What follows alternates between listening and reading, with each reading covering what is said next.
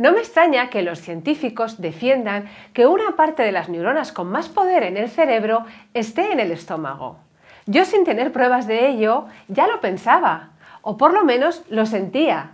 Según los expertos, la atracción que determinados alimentos ejercen sobre nosotros es clave para mantener una salud integral de por vida o degenerarnos al consumir productos dañinos.